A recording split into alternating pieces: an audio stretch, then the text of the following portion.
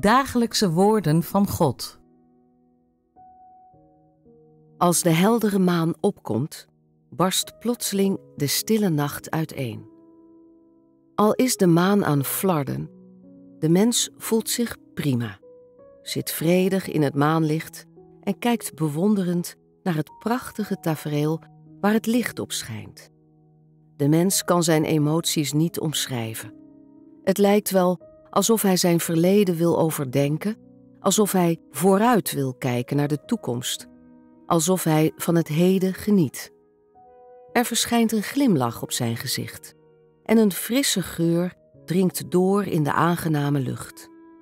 Er steekt een zacht windje op en de mens ontdekt een rijke geur. Hij lijkt wel bedwelmd, hij kan niet opstaan. Dit is precies het moment waarop ik persoonlijk onder de mensen ben gekomen. En de mens ervaart het rijke aroma intensiever.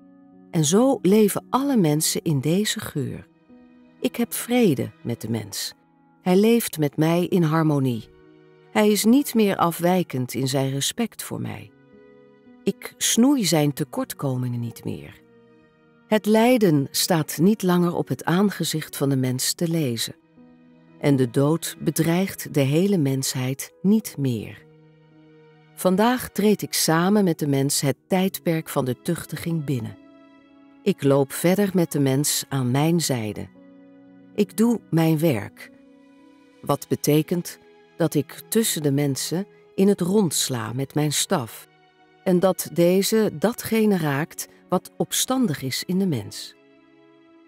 In de ogen van de mens lijkt mijn staf bijzondere gaven te bezitten.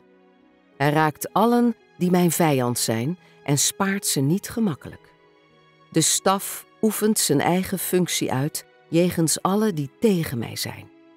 Allen die in mijn handen zijn, vervullen hun taak volgens mijn oorspronkelijke bedoeling en hebben nooit mijn wens getrotseerd of hun wezen veranderd. Als gevolg zullen de wateren razen, de bergen omvallen, de grote rivieren uiteenvallen, de mens zal altijd aan verandering onderhevig blijven. De zon zal vervagen en de maan verduisteren. De mens zal geen dagen van vredig leven meer kennen. Er zullen geen rustige tijden meer zijn op het land. Het firmament zal nooit meer kalm en rustig blijven en zal niet langer stand houden. Alles zal vernieuwd worden en zijn oorspronkelijke uiterlijk terugkrijgen. Alle huishoudens op aarde zullen worden verscheurd en alle landen ter wereld zullen in stukken gereten worden. De dagen dat man en vrouw bij elkaar waren, zullen voorbij zijn. Moeder en zoon zullen elkaar nooit meer ontmoeten. Niet langer zullen vader en dochter bijeenkomen. Alles wat op aarde bestond, zal door mij worden vernietigd. Ik geef de mensen geen kans hun gevoelens te uiten, want ik heb geen gevoelens. En ik heb tot op zekere hoogte een afkeer gekregen van de gevoelens van de mens.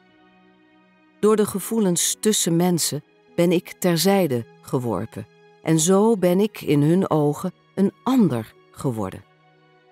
Door de gevoelens tussen mensen ben ik vergeten.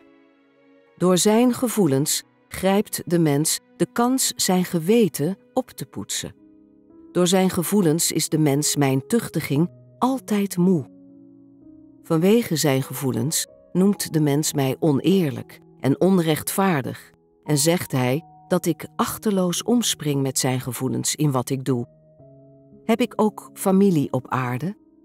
Wie heeft er ooit, net als ik, dag en nacht gewerkt zonder aan eten of slaap te denken in het belang van mijn hele managementplan.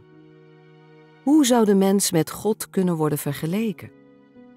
Hoe zou hij verenigbaar kunnen zijn met God? Hoe zou God, die schept, van dezelfde soort kunnen zijn als de mens die geschapen is?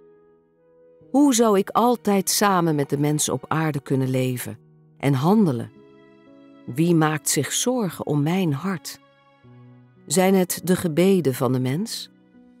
Ooit ging ik ermee akkoord om me bij de mens aan te sluiten. En ja, Tot op de dag vandaag heeft de mens onder mijn hoede en bescherming geleefd.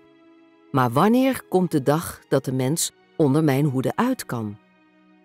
Al heeft de mens nooit om mijn hart gegeven, wie kan er in een land zonder licht blijven leven? Alleen door mijn zegeningen is de mens tot op heden blijven leven.